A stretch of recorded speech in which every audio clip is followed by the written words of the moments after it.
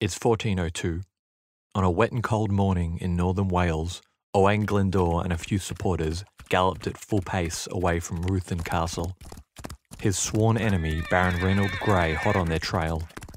Glyndwr's siege had ended in failure, and his army, tired and sick, had melted away into the countryside, leaving him alone with just a few loyal men. Lord Grey, never one to waste an opportunity for glory, seized the initiative. This was his chance to capture the Welsh rebel once and for all. The history between these two men was long and bitter. Grey was a favourite of the King of England. He had been provided with choice lands on the borders of England and Wales, and was tasked with making the lives of his Welsh neighbours as difficult as possible. Over the years, through thievery and deceit, he had stolen everything from Glyndwr his lands, his reputation, and now he came for his life. Now, with not a penny to his name, Glyndwr and a few friends sped through the countryside. His banner, a brilliant golden dragon set against a white canvas, billowed in the wind. With the rain stinging his eyes, Glyndwr spurred his exhausted horse forward. His ultimate gamble was coming up. The plan had to work, it just had to. As the muddy open fields of the countryside gave way to tree cover, he could hear Grey hot on his trails and gaining fast. Wheeling around the last corner, Glyndwr arrived at the clearing and directed his horse around a bend and out of view. Grey and his men immediately saw it. They had rode straight into a trap. Dumbfounded, Grey scanned the tree line and realised it was brimming with enemy soldiers, their iron helmets giving away their positions in between the dark birch trees. Where had all these men come from so quickly? Trap! yelled Grey, but it was too late. As he and his knights tried desperately to spin their horses around, they were shot full of arrows. Man and beast screamed out horribly as the razor sharp bodkin arrows tore through them. In a matter of seconds, Grey was the only one alive. Emerging from behind a thick tree, Owain Glyndwr walked calmly towards his rival and yanked him down unceremoniously off his magnificent white horse. As the man who had cost him everything glared up at him, covered in mud, Nothing would be easier or more satisfying than ending his life. A quick flick of a knife, and Glyndwr would have the revenge he dreamt of. But that was wasteful. Despite all he had done to him, Grey was too valuable as a hostage. The Baron was bound and shackled, and Glyndwr dragged him to the edge of the clearing. A wry smile crept across the face of the Welshman as he watched his bound nemesis gaze upon his army. Nothing but a bunch of iron helmets balanced on wooden stakes. You're listening to Anthology of Heroes, the podcast that takes you through the lives of national heroes of every country around the world. And today's story is of a Welsh nobleman. Driven into revolt by a tyrannical English king, he would ignite a slumbering sense of nationalism his countrymen shared, something that England thought they had snuffed out long ago. Tired of being second class citizens in their own country, thousands would flock to his golden white banner, determined to throw off the shackles of English dominion. His war would last over a decade, and at no point would he ever surrender or be betrayed by his people. And then, almost as fast as he rose, he would disappear from history, cementing his place forever in the hearts of Welsh people as a symbol of independence and pride. This is the story of Owain Glyndwr, the last Prince of Wales.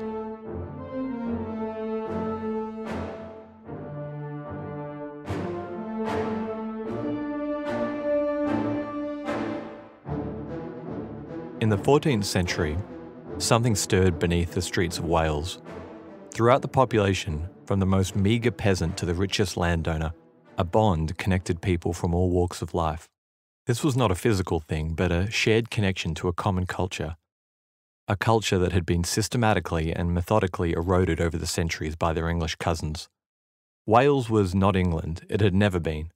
Since the time of Anglo Saxon kings, earthen stoneworks had been constructed as barriers to clearly show where England finished and Wales started. To the east of the boundary lay civilization, and to the west, barbarism. At least that's how many English kings saw it. As English influence waxed and waned over the centuries, usually Welsh power would do the opposite. If England was strong, the independent Welsh kingdoms kept their heads down and maintained a low profile. But when England was weak, Raiding into the richer border towns and vying for deals to increase their own power was the order of the day in Wales. Since back in the 11th century, the north of Wales had been the target of English attention. At an enormous cost to the English king, a so called Ring of Iron was constructed in the northwest of the country. The Ring of Iron was a collection of state of the art defensive castles circling the Snowdonia region, a particularly rebellious part of Wales. These castles were intended to be strongholds from where the king's representatives could project English power across the countryside, and in the event of widespread rebellion, they were designed to be impenetrable. A few generations later, another English king had his own idea of keeping down Welsh nationalism. His new plan was more nefarious and long term. Slowly and systematically, he replaced the native rulers of southern Wales with men of his choosing, known as Marcher lords. These lords, who now owed their position directly to the English crown, could be relied upon to keep down the northern Welsh kingdoms in the event of a rebellion. The hope was that, over time, the Welsh language, culture, and separate sense of identity would be swallowed up by that of England. But the Welsh did not go gently into that good night. Just a quick side note on place names. I really, really struggle with uh, Welsh pronunciation, especially the cursed double ch sound. So I've generally stuck with the English pronunciations of these names. Anyway, over the next 400 years or so, talented and patriotic Welshmen rose and fell, all with lofty ideas for a united Wales. In the mid 12th century, Owain Gwynedd became the first Welsh ruler to have his claim as Prince of Wales recognised by the English crown. A century or so later, his grandson, Llewellyn the Great, was one of the leading barons who forced the English king to sign the famous Magna Carta, which limited the amount of power a king could project on his subjects, which still continues to be referenced in England today. So, I know we've just flipped over quite a bit of history with quite a few names. If that felt like a bit of a high school lesson, my apologies, but to understand today's story and the motivation behind the characters, it was important to do a bit of a deep dive. Summarised though, England had tried a variety of ways to stamp out Welsh nationalism, with varying levels of success depending on the king and political landscape. For all the talk of nationalism, however, nothing about the early life of today's hero would lead you to think he would one day lead the greatest rebellion Wales would ever see. Owain Glyndwr was born around 1350 and grew up in a well off Anglo Welsh family in the northeast of Wales. His family land straddled the traditional borders of Wales and England, his family was one of the few that could trace their lineage back to the time before the Norman invasion some 400 years earlier. This kind of pedigree was completely ignored in English high society, but was held in high acclaim in Welsh society. Bards and poets singing the deeds of one's ancestors was common practice for the Welsh elite, and all through his childhood, Glyndwr would have heard minstrels retell the deeds of his long lost relatives. R. R. Davies, an Oxford professor, describes this element of Welsh aristocratic society as a kind of secret to outsiders. Quote, this was a part of Wales that the English official traveller would have barely skirted on his tours or in his consciousness. It was a secret Wales, which was yet at the very heart of the experience and vision of the poet and their patrons. Owain Glyndwr and his like, meaning other Welsh nobles, straddled these two worlds to a considerable degree. Glyndwr's father served the English king, Richard II, loyally. He and others like him were quite literally the eyes and ears of the king. Fully integrated into Welsh society, they kept their king aware of rumours and rebellions that cropped up now and again. But sometime before Glyndwr's 11th birthday, his father died and he was adopted by a lawyer of similar family pedigree. His name was David Hanmer. By all impressions, Glyndwr settled in well with his new family, extending his social circle and even marrying his stepfather's daughter, Margaret. They went on to have quite a brood, about five boys and around four girls. From the time Glyndwr was around 18 to his early 30s, there's conflicting reports about where he was and what he did. But as a member of Welsh nobility, it's highly likely that he served the king in a military capacity, mustering troops for his campaigns in Scotland, which was in rebellion at this time. Glyndwr and other landowners in Wales enjoyed a good deal of freedom under the rule of King Richard and rewarded him with their loyalty, keeping tax flowing into the king's coffers and troops into his army. But the same could not be said for other parts of the country. As the 14th century began to draw to a close, the king was deeply unpopular with many of his nobles. Many saw him as a tyrant and were unhappy with his choice to make peace with France. Long story short, one of the leading nobles with a claim to the English throne outmaneuvered the king and by 1399, Richard II was locked away in the Tower of London and a new king sat on the throne. He was to be known as Henry IV. To describe the kind of man Henry IV was, I've brought on Chris from History with Chris, my go to for anything related to English monarchy. Henry Bolingbroke was born on the 15th of April 1367 at Bolingbroke Castle, Lincolnshire.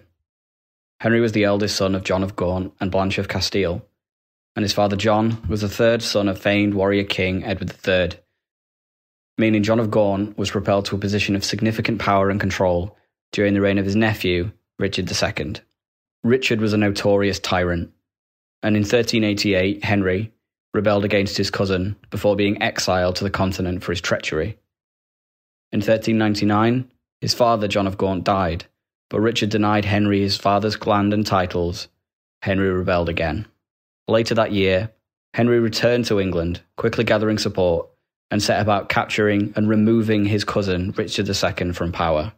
On the 13th of October 1399, Henry was crowned King Henry IV, and for the first time since Harold Godwinson in 1066, an English king made an address in English. Henry was the first English king since the Norman conquest, whose first language was English. France had been the language of court since the conquest. Henry wasn't raised to be a king, he was the son of a duke, and never really meant to inherit the throne. Henry was able to get one group of people on side, and that was Parliament. Henry was able to get an Act of Parliament to secure his legacy and his legitimacy. Henry's entire reign was filled with plots, rebellions, and political upheaval, all centered around his dubious claims to the throne. Yes, he was a direct descendant of Edward III, but he wasn't even the next in line after Richard's death. In January of 1400, Henry finally dealt with his political rival and cousin, Richard II. Richard's official cause of death was starvation, and it's impossible to know if Henry was involved.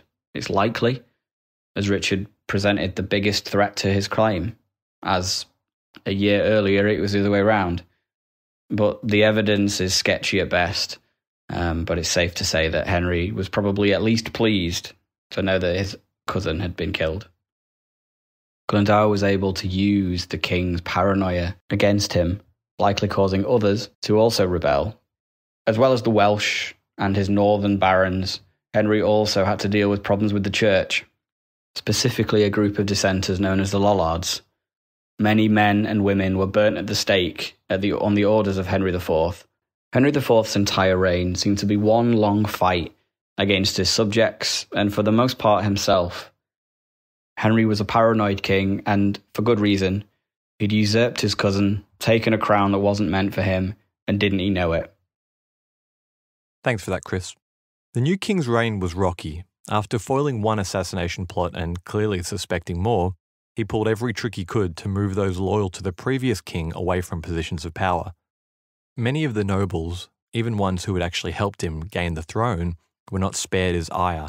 Lands were confiscated and positions were repealed. And because of this, if you look at a map of Wales and the governors of each region, you would see a lot of new names from 1397 to 1399. And it did not go unnoticed by the locals. As we said earlier, despite the fact that many men of English stock held power in Wales, Cooperation from local lords, Welsh lords, was essential for things to run smoothly. R. R. Davies summarizes this tricky balancing act by saying, quote, An essentially alien and absentee royal and aristocratic lordship depended for the weekly exercise of its power, justice, and revenue raising on the services and cooperation of the leaders of local Welsh communities. But in the blink of an eye, many of these absentee lords that had built up connections within the community were gone replaced with men who didn't know and probably didn't care to know the local community. Wales was a powder keg. The English just didn't know it yet, and the fuse was about to be lit. By this point in time, Owen Glyndwr had grown into a successful and wealthy landowner, in line with his birthright. But, like half the world, he did not get along well with his neighbour, a man called Reynold Grey, Baron Reynold Grey formerly, and Reginald de Grey, 1st Baron of Wilton, ultra formally. Grey was of Old English stock, and he, like Glyndwr, had enjoyed a good relationship with Richard II and had kept his hands clean in the rebellion and counter rebellion of King Henry IV, so now enjoyed a good relationship with him too. On paper, the two men were fairly similar, except Glyndwr was of mixed English and Welsh heritage, while Grey was English through and through. In the past, Glyndwr and Grey had bickered over a piece of land they both believed they owned. The exact order of events that follows is up for a bit of debate, but generally the story goes that The matter was taken before Parliament and they ruled in Glyndwr's favour. But now, a few years later, with a different king who favoured Grey, the sneaky Baron tried his luck again, and surprise, surprise, the Parliament overturned their previous ruling, forcing Glyndwr to concede the land to Grey. The two men wrote a series of letters to each other, threatening the destruction of the other's property, yada yada yada. Grey kept the letters and then threatened to take them to the king. Standard neighbour drama, right? Not long after this, Glyndwr's petition for the matter to be re looked at was thrown out of Parliament without them even reviewing it. A quote of questionable authenticity claims that when presented with Glyndwr's petition, the parliamentarian stated, quote, What care we for barefoot Welsh curs? End quote. Barefoot being a reference to the supposed grimy conditions in which people from Wales lived. Whether or not this phrase was actually uttered it did seem to be the sentiment felt by Parliament and the increasingly xenophobic king. Not long after this occurred, a mustering call was issued by the king for an invasion of Scotland. A mustering call was a demand sent to the major lords in the area to gather a number of troops for an upcoming war. And the sneaky old baron who was meant to pass the message along to Glyndwr, conveniently forgot until it was too late. To ignore a summons was treason, and treason meant land confiscation for Glyndwr until he could plead his case against the very same Parliament that had now ruled twice against him. Blood boiling with rage, Owain Glyndwr was about to show the world exactly what a bunch of barefoot Welsh curs could do. But first, a quick message from one of our friends of the show. My name is Talia Smith, the host of Once Upon a Time, a storytelling podcast. On our show, we talk to historians, artists, podcasters, and creators from around the world about the stories that impact our lives. Join us for Once Upon a Time, a storytelling podcast, Season 3, streaming on all platforms right now. Find us at a storytelling podcast on Instagram for more information.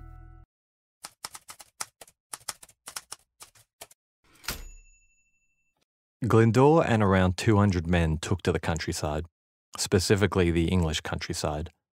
For five days, English towns were sacked, buildings put to the torch, and its inhabitants scattered. Glyndwr's power base lay in the northeast of Wales, but it didn't take long for the rebellion to spread to northwest also. When he heard of the rebellion, Henry IV was heading back from Scotland on the very expedition Glyndwr was tasked to provide men with. The king diverted his army to meet the threat, but by the time he arrived, Glyndwr's force had disbanded. All of his men had no wish to fight a pitched battle against a professional English army. Determined to punish the inhabitants who had rose up with Glyndwr, Henry's army marched across northern Wales, sacking and burning towns that they deemed as rebel hotspots. The island of Anglesey, just off the northern Welsh coastline, copped it particularly hard. This island was home to a really influential family who I'm sure you've heard of, the Tudors. That's right, the very same family that would later give England its most famous monarch, Henry VIII. The two Tudor brothers, Rhys and Gwilym, were relatives of Glyndwr, and like him, they had no love for the new king. And because of this, when Glyndwr's rebellion started, it was these two that roused the men of their community to follow suit. But like their cousin, they were not about to give pitched battle to a professional army. Instead, they picked off small groups of troops that had strayed away from the main army Scouts, foraging parties, or anyone who broke off from the main group of the army were battered by constant guerrilla attacks by the combined forces of Glyndwr and the Tudor brothers. As the weather began to worsen, which it does regularly in Wales, the king and his army retreated back to the English border with almost nothing to show for their efforts. A token force of English troops were left in some of the key fortresses in the northern countryside. To calm the population down, general pardons were issued for all involved, except for the Tudor brothers and Glyndwr himself. In Parliament later that year, a new set of restrictive laws were imposed to further curtail the freedom of the Welsh. With the passing of the bill, men of Wales were further restricted from purchasing lands or holding offices in any of the border cities. English citizens were also now unable to be convicted of a crime that took place within the border cities. The message from the Crown to its Welsh subjects was clear know your place and keep a low profile. As far as the king was concerned, that was the end of it. But that wasn't the end of it, not by any stretch of the imagination. Once the king's troops left, Glyndwr's men emerged from their mountain hideouts, again ravaging the border towns. Meanwhile, in Anglesey, furious at the desecration of their ancestral home and being left out of a general pardon, the Tudor brothers pulled a sneaky one at the large fortress in the city of Conwy. Knowing that they had no way of taking the fortress by force, the brothers and a group of men dressed up as carpenters and talked their way into the fortress, insisting they were coming to actually do some repairs. I've included a picture I took when I went to Conwy Castle on our Instagram and website, but safe to say this was a huge fortress, once again thought to be impenetrable. The small group killed all the guards and barred the gates from the inside, the crafty brothers then negotiated the return of the castle in exchange for the pardon they had missed out on before. The commander in charge of the negotiation with the brothers was a man called Henry, nicknamed Henry Hotspur for his speedy cavalry charges he was known for. Henry was from the incredibly rich and influential Percy family, a family which also had claim to the English throne. The brothers got their pardon, but over in London, once King Henry heard of Hotspur's truce, he overruled him and reneged the pardon Hotspur had already granted the brothers. Eventually, the Tudor brothers and the king came to an agreement, but this continual pig headed stubbornness showed by King Henry to grant any concessions at all to the rebel leaders served only to help the rebellion gain steam. Despite Conwy Castle being returned to the English, the men of Wales now knew that these seemingly invincible bastions of English power could be taken. These gigantic stone barriers that, for centuries, had been a constant reminder of their own submission to the English crown now represented opportunity. Glyndwr and his men rose from the shadows again, decimating English townships and whatever token garrison the king had left behind. But this time, properties belonging to his much hated neighbour Baron Grey were deliberately sought out and torched. Anything of value Grey owned was methodically and very deliberately burnt to the ground, buildings, food stores, horses, and cattle. Glyndwr wanted the man destitute and broken like he had made him. More expeditions were sent to Wales, but they met the same fate as the earlier ones. The men they were fighting may not have had the armour, training, or discipline, but they knew the land and were well informed of the movements of English troops long before they arrived at their destination. In response, the king doubled down even further on laws to restrict the liberty of the people of Wales. With each passing month, Anyone of Welsh descent living lawfully in England was seeing their civil rights being chipped away piece by piece. They couldn't go on like this. Throwing their lot in with Glyndwr was quickly becoming their only option. But even so, rebellions like this did have a tendency to burn themselves out after a few months.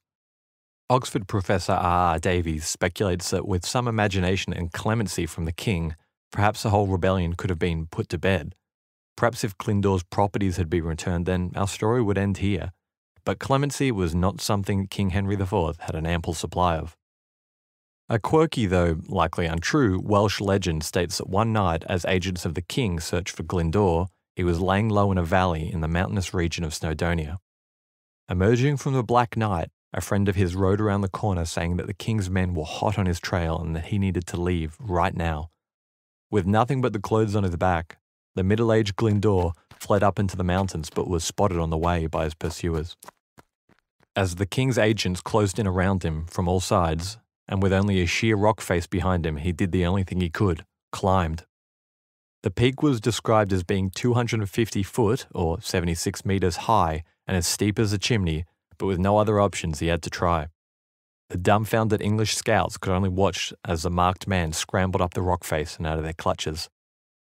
Though this is probably a legend, the cave that he hid in at the top is fairly well known by locals, known as Owen Glyndwr's Cave. During my time in Wales, I tried my best to find it, and I'll put the clues as to where it's meant to be on our website, but I had no luck. And just as a disclaimer, Anthology of Heroes podcast takes no responsibility for any injuries occurring trying to find this cave that may or may not exist.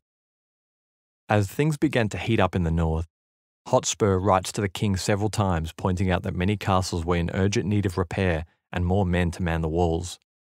Hotspur knew that there was a gathering storm at his doorstep, and he was doing all he could to try and batten down the hatches in preparation. But his plea was ignored, partly due to the dire finances of the English treasury, but also likely due to the man's claim to the throne. Despite keeping England's borders secured, Henry Hotspur was, and would always be, a threat to the king. Someone with a claim to the throne always was. Hotspur spending his own capital to defend against Welsh rebels was good news for the king, weakening a rival and, with any luck, stamping out rebellion at the same time. While Hotspur's letters stressed the need for a peace with the Welsh, the king and his favourites would have none of it. Baron Grey was particularly vocal in Parliament that the war must continue, furious at the mounting repair bill Glyndwr was costing him. The Baron whispered constantly in the king's ear against any talk of peace or reconciliation with the Welsh, at least not before he had had his revenge. In June 1401, Glyndwr and somewhere around 300 of his followers were met by a large English host of around 1,500 men. The battle had been a long time coming. Glyndwr's men had harassed the invading force up and down the countryside. His strategy seemed to be to slowly wear down the morale of the attackers while drawing them into a location of his choosing. Finally, in a muddy valley with an uphill advantage, the English army charged down and collided with Glyndwr's militia, Though being outnumbered at least three to one, the Welsh troops were more nimble. Smaller Welsh ponies deftly skirted atop the marshy bog, while arrows shot from powerful Welsh longbows crisscrossed the field. It wasn't long before the professional army of the Crown was sent running back across the border. Owain Glyndwr had just won his first pitched battle. Glyndwr knew his appeal was growing. Welsh students studying in Oxford had begun to drop their studies and head home to heed his call. But he needed to keep the momentum going. He needed something big. And, more than anything, he needed money. And his old neighbour, Lord Grey, had a stack of it. Hauled up in his carvel at Ruthin, the Baron sat quietly as the countryside rose up in arms around him. In a way, he was a sitting duck. Glyndwr put his manor, Ruthin Castle, to siege, but the Baron's disciplined household guards held firm against Glyndwr's mob. As the siege dragged on, the momentum began to melt away and many of Glyndwr's followers gave up, losing interest now that the easy lightning raids had slowed down. Lord Grey watched from his high walls as the army drifted off until only his despised rival and a few friends were all that remained. The opportunity was too good to pass by. The ever elusive Owen Glyndwr was right there outside his fortress with almost no army. With possible advice from his household servants who may have been supporting Glyndwr, Grey and seven of his knights suited up and burst from the castle, speeding down towards Glyndwr and his men. Through the countryside they chased them, their sturdier war horses gaining more and more ground on the smaller Welsh ponies. But as the legend goes, Glyndwr had planned an ambush and was actually leading his old neighbour into a trap. At the agreed upon location, a group of Glyndwr's archers waited. Grey and his men sped around the corner, and in the tree line, they spotted Glyndwr's army which were actually just iron helmets and uniforms stuck on wooden pikes. But in the thrill of the chase and the misty Welsh forest, they looked every bit authentic. Grey and his knights tried to speed back out the way they came, but when they did, they ran into Glyndwr's real army, the archers, who promptly killed all the knights save for Baron Grey himself. The origins of this story are spurious, of course, but the hill where this ambush apparently took place is known today as Bryn Saith Marchog, or Seven Knights Hill. The capture of Grey, besides being immensely satisfying for Glyndwr himself, won him a ton of propaganda points for his rebellion. Grey was soon ransomed back to the king, who, despite being flat broke, took loans to secure his release, with 11,000 silver marks being the recorded amount. As part of the agreement for his release, Grey was made to swear before Glyndwr to never take up arms against him and even if he wanted to, the ransom was so incredibly steep that he never had the money to even try. Glyndwr had broken Grey, both financially and politically. His family would never regain the status they once had. In one lucky afternoon, Glyndwr had completely neutered his arch rival, and he was only just getting started. And that is the end of part one of Owen Glyndwr, the last Prince of Wales. Tune into our next episode where Glyndwr's rebellion reaches its zenith before the timely involvement of a charismatic young English prince unravels it all.